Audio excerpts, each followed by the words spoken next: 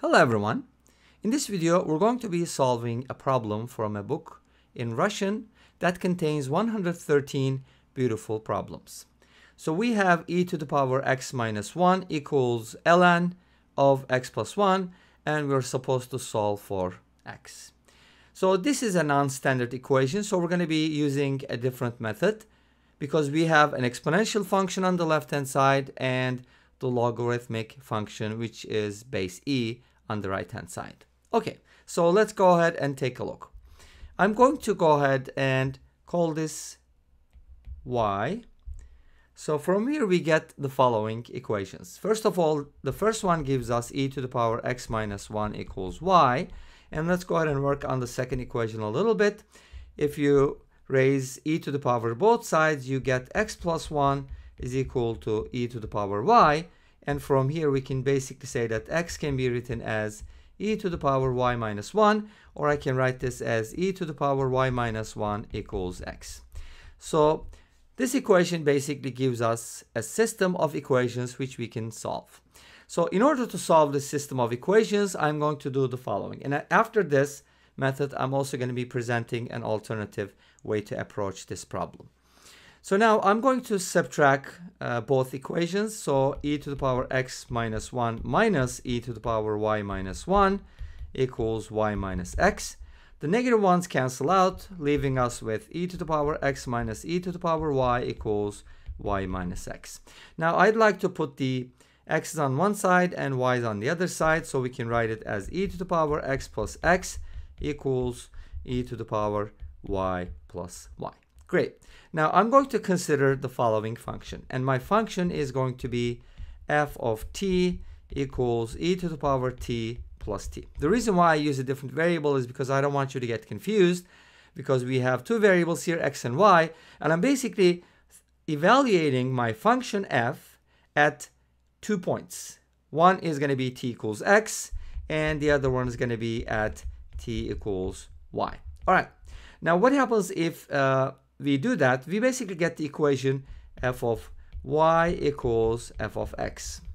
Now, what does that imply? Well, first of all, let's take a look at our function here, which is given by this equation, and let's see if that's going to be a one-to-one -one function or not. So I'm going to differentiate this function, and when I differentiate it, it's going to be e to the power t plus 1, because the derivative of e to the power t is itself, and the derivative of t with respect to t is 1. Now this shows always a positive value because e to the power t is always positive for all values of t in the domain. So our function has a positive derivative, which means that f of t is always increasing. Now this is important because we have a function that's always increasing and f is also a continuous function because e to the power t is continuous, t is continuous, and their sum is also going to be continuous. So you're basically talking about a function that is always increasing, whatever that looks like, and it's continuous. So there are no holes or gaps or jumps or anything like that. And we're basically looking at the function at two different values and they're equal. So this implies f of y equals f of x implies y equals x. All right, that's the conclusion we get from here. So going back to our equation, we can safely say that e to the power x minus 1 equals y, or we can write it as e to the power x minus 1 equals x. Okay, great. Now, we're going to be solving this equation now. How do you solve this equation? Well, you can kind of guess and check, and you could do that at the beginning as well, but I just gonna want to look at this equation a little bit. So if you replace, for example, x with 0, you're going to notice that x equals 0 is a solution. But the million dollar question is, is there another solution to this equation? And that's what we're going to be looking at. Okay, so now let's take a look at the following function. How about we consider the function y, uh, maybe let's just use a g here. g of x equals e to the power x minus 1 minus x. Okay, now what type of function is this? Well, we know that g of 0 is equal to 0. So we have one x-intercept. And then let's go ahead and differentiate this function as well. It's going to give us e to the power x minus 1. And now, if you look at e to the power x minus 1 and set it equal to 0, from here you get e to the power x equals 1 and x equals 0. So we do have a critical point at x equals 0, let's go ahead and find out what that looks like by looking at the table for the derivative of g of x.